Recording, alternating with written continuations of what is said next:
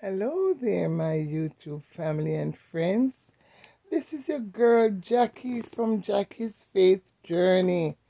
Just touching base with you on this hour to just say that I'm still here and still hanging in there and still stretching, reaching, and progressing in every way that I possibly can by the grace of God. Here we go, as I tell you of my little day uh, going on for this weekend. So as you can see that your girl is comfortably laying down in her bed. I take it wherever I feel comfortable. And at this precious moment that I've been given by God's grace, I am enjoying myself, just relaxing. Yes, it, it's been an awesome day, a very kind of, uh, you know, everything kind of day. I'm so, I'm just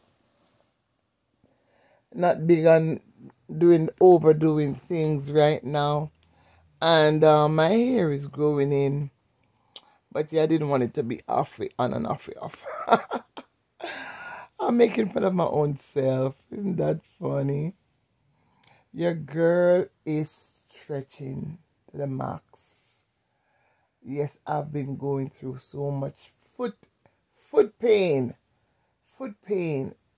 The most of my situation is my feet, my hands, and every now and again my back would go out.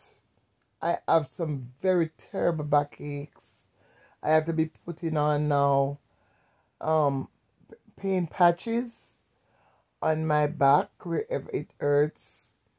Cause sometimes I'm like so afraid of the sprays because it's extremely freezing and I jump. So the rubs, I feel better with the rubs and I do use the pain patches and I get some relief from it.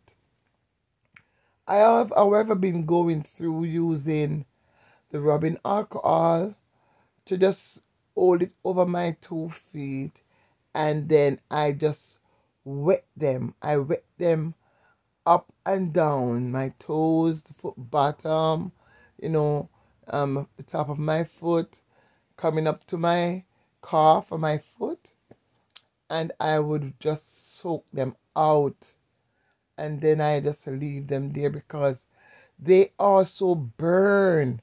You have this very bad burning, like it's on fire.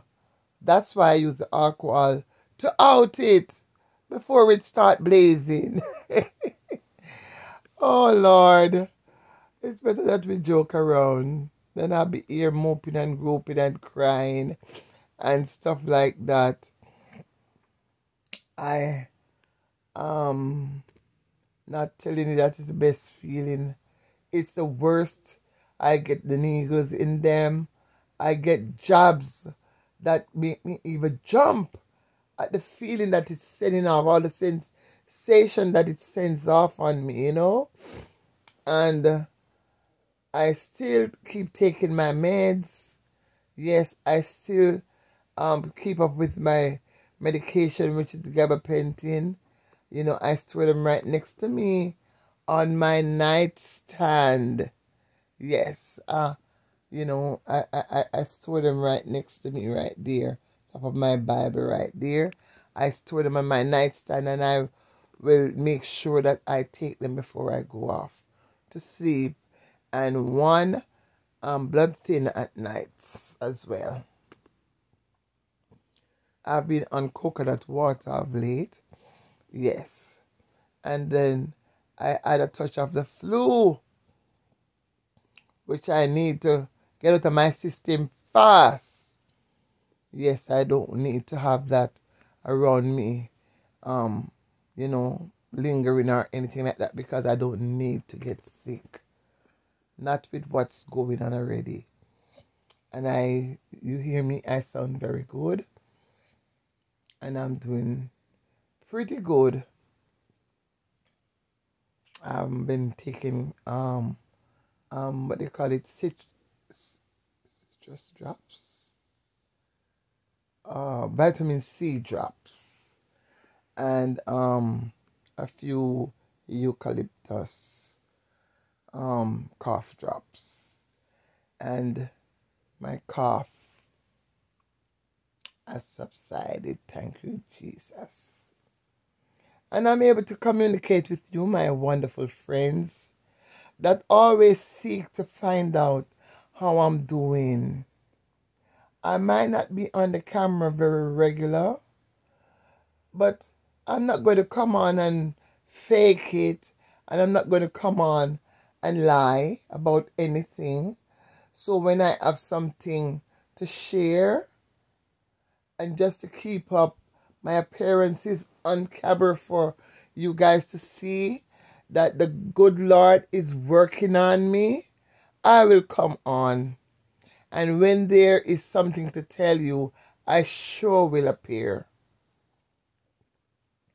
I am taking the best care I know out of myself. Yes. I was just running through my room and I heard Cece singing her song that I love so much.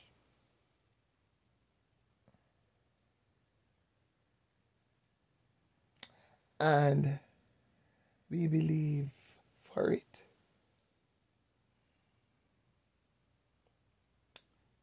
shake the impossible.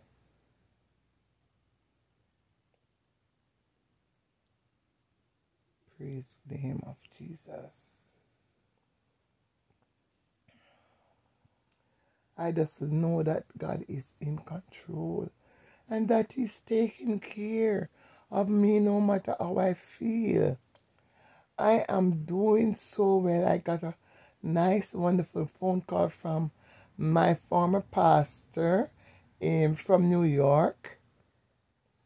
And in the same breath, my colleague and friend from my same church family. And she's now a pastor as well. I got so much encouragement on today. I am telling you, the good Lord is sending me blessings after blessings, and it keeps on following me. I also had um, the privilege of being encouraged so much by these people. The prayers that they sent up on my behalf The encouragement I got from the Word of God. Praise the Lord. I can tell you that no money can't buy those kind of encouragement. No money can't add anything to your statue. One cubic, it say. It can't add nothing to you. But when the peace of God is on you, around you, and it's is sown into your life. There is nothing that the devil can do. He has no control. I have good wording from the people of God. And looking forward to go sit under the umbrella of a wonderful Sunday service on tomorrow.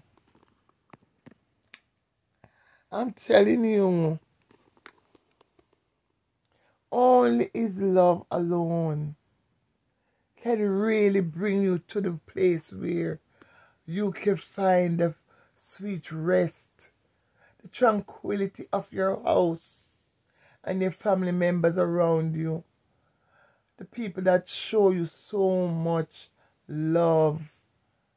My daughter might not live in the house with me, but so much love is shown to me. And there is my other daughter that's in New York. And they are also celebrating my mother in law's 99th birthday. Can you believe that? My husband's mom turned 99 years old on today. And she makes sure to make them FaceTime us to show us and just wanted to see us talking back at her. She's encouraging me. Now look, I wonder which one of us needs encouragement. But she is so full of the anointing. She can't even keep it to herself.